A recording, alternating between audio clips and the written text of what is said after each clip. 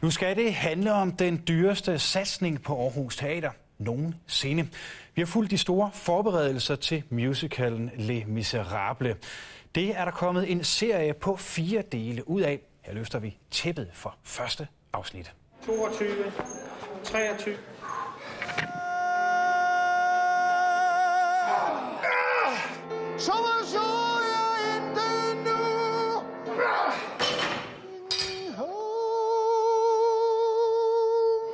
Vi er i et træningscenter i Odense. Jeg skal jo øh, i form til rollen som Jean Jean. Stig Rossen er hovedperson i Aarhus Teaters største satsning nogensinde.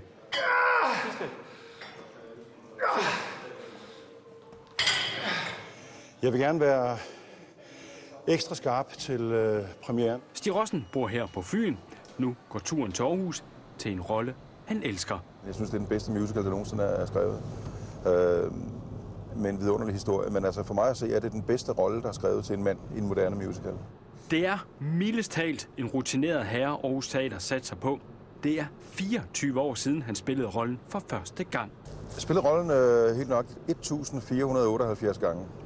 Langt de fleste af gangene har været i London, så det bliver specielt nu at skulle synge den på dansk. En historie,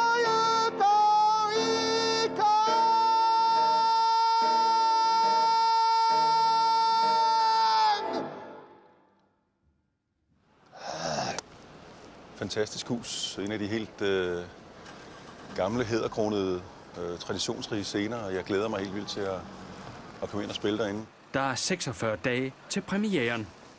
Personale engang. Det er mig nu. Og jeg har ikke sunget den på dansk i 21 år. Og hvor skal vi så være henne? Stig Rossen skal nu ind og sige goddag for første gang til alle de mennesker, han skal arbejde sammen med i mange uger. Ja, hej. Hej. Hej, Stig. Hej.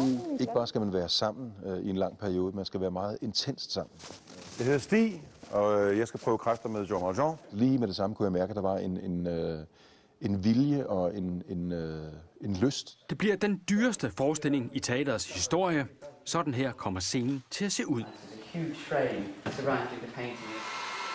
Og faktisk har sceneteknikerne allerede været i gang i halvanden måned. Det er noget, som bliver til en guldramme.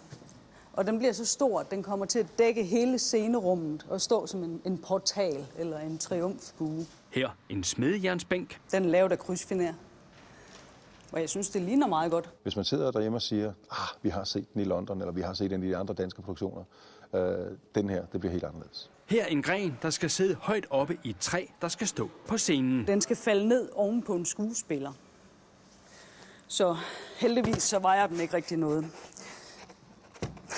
Foran ligger nu ugers hårdt arbejde for de næsten 100 personer, der er involveret. Og undervejs i forestillingerne vil Stig Rossen have jubilæum. Han vil så have spillet rollen ikke mindre end 1500 gange. Bliver du aldrig træt af den? Nej, det gør jeg ikke. Det er, en, det er den bedste rolle, der er skrevet til en mand i en moderne musical. Det er en fantastisk rolle. Hvem er